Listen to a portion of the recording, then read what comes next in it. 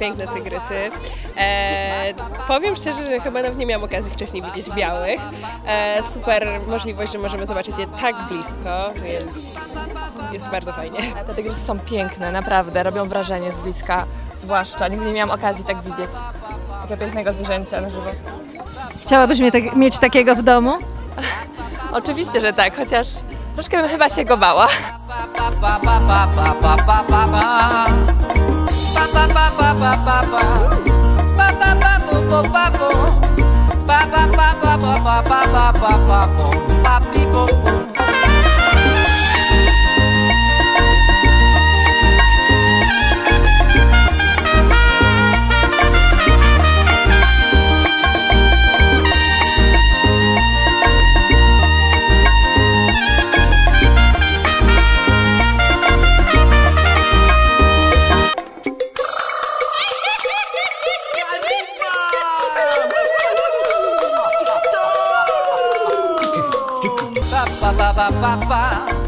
To było przepiękne dostać buziaka od Dawida, naprawdę.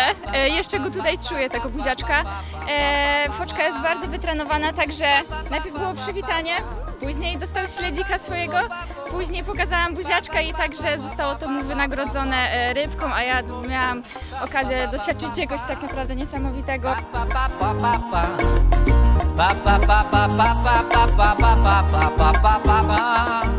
Chcemy pokazać, że wszyscy do nas przyjeżdżają.